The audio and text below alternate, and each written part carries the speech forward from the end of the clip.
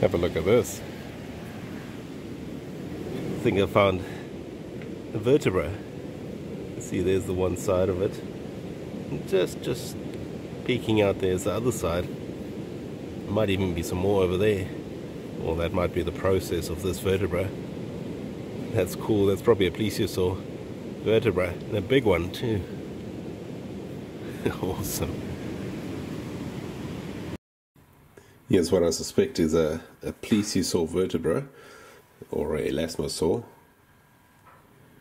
You can see there's a bit of bone sticking out there and there, so I think that's the, the width of the vertebra.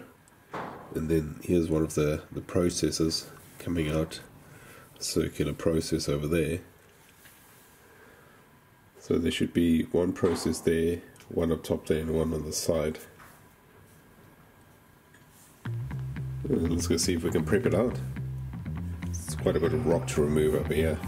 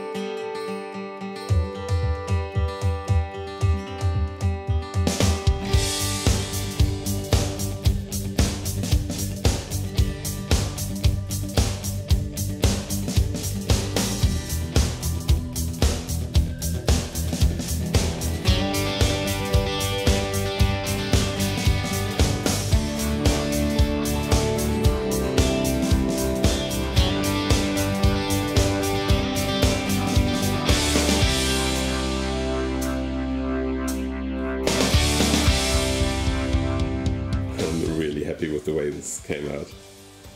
You might be wondering why have I left the, the rock on the side here and the top here of the processors and that's just for extra strength. You can see there's a crack going all the way through here uh, through this process. And I've had to glue it back together well to stop it from um, fracturing further. And it, it carries on through this side. So I've put a lot of glue in there. But you know without this rock on this side this would be quite a fragile bone and what I like to do with my fossils, I like to pass them around, let people touch them, have a look at them. And I don't want to have to worry that, you know, a process is going to snap off. That's why I leave quite a bit of rock on the top here. Also, just I think from a scientific point of view, it's good to leave, you know, the rock on the fossil to some extent because you can tell a lot from the location based on the rock on there. What I didn't show in the video is the, the 20 acid baths this thing went through. So it went through 20 cycles of vinegar, uh, an hour in the vinegar, and then 12 hours in fresh water, uh, replacing the water every three hours. So just, just to make sure that all the acid uh, comes out of the bone before I put the B72 on. So between each cycle, I also cover the bone in B72. You can see there's still, you know, a few shiny bits where I need to just remove the excess B72. That's just to protect the bone from any acid. At the bottom here you can see there's a hole over there and it looks to be a hole over there and I think they think that's for extra blood supply. I don't think that's feeding damage. It would be really cool if that was feeding damage but yeah I'm pretty sure those are supposed to be there those two. I thought I saw another little hole somewhere. I think there might be one over there but yeah it's so small I think those are the two holes I can see. It's not feeding damage. I think that's just what a elasmosaur vertebra looks like. Elasmosaurs are a type of plesiosaur, the long-necked plesiosaurs as far as I know. But don't quote me on that. Yeah, this turned out so beautifully. Well, that was a long prep process. So this is about three weeks of work. Um, you know, a couple of hours every evening of air scribe work, then putting it in acid for an hour and then in water overnight uh, to get the acid out of it, so it doesn't keep on working on it. But the results are amazing. You know, the the detail you can see in this this fossil is just incredible. It's so cool this has got me very excited for some of the other fossils I've got, which I haven't worked on yet because I I didn't quite know how to work with the, the acid. So um, that's just normal vinegar. Uh, I buy it in bulk and then, you know, make up big containers of it. And yeah, that's really cool. Very happy with that. Thanks so much for joining me, everyone. I hope you enjoyed this prep. It was a little bit different to the other ones, uh, but I really enjoyed it. This was so much fun to do. If you've got any questions, uh, get in touch. I'll try and answer them. Stay safe out there and I'll see you on the next hunt or prep.